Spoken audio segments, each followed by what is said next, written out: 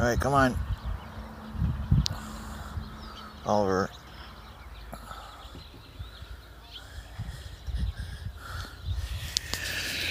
Yeah, Oh boy.